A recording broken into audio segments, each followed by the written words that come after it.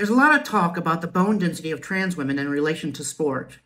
Opponents of trans women athletes say our bones are too dense to compete with cis women. But did you know that there are racial differences in bone density? Did you know that many cis women have more dense bones than cis men? Specifically, many black cisgender women have more dense bones when compared to white cisgender men. So, does this mean that black cisgender women are more of a danger to women's sports, especially in the sport of MMA, where we are punching and kicking each other? No, they aren't. And neither are trans women in sports.